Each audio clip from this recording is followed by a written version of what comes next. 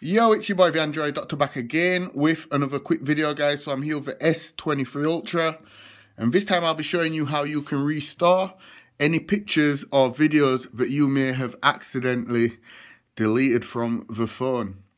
Okay, so I'm just going to open up my gallery and I'm going to show you that I've got quite a few pictures and videos in my gallery as you can see. So I'm just going to go ahead and delete everything from the gallery.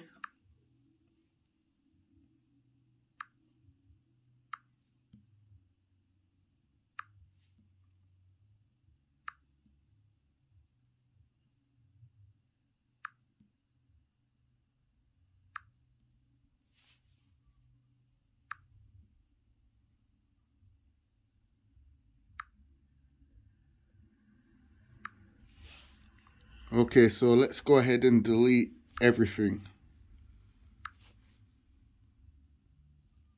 Okay, so as you can see now, all my pictures have been deleted, also my videos. So, if this happens to you and you accidentally delete your pictures and videos, all you have to do to restore and get back the pictures and videos is just go into the gallery select this option here and then select the recycle bin. And then you'll see all your pictures and videos in the recycle bin. But please do be warned that the pictures that, that you've accidentally deleted the pictures and videos they'll remain in the recycle bin for 30 days and then they'll be permanently deleted so you have to do this within 30 days. If you do this after 30 days, there's no chance of restoring the pictures and videos that you've accidentally deleted. So all you have to do is just select the ones that you want to restore. In my case, I want to restore everything, so I'll select all.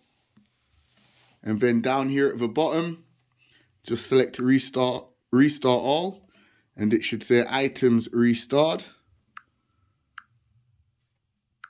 And now when I go back into the gallery, all my pictures and videos are now back in the gallery.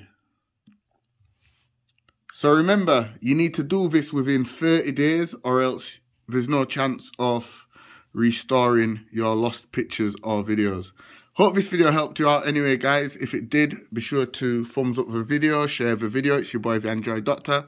And I will see you in the next one, guys. I'm out. Deuces.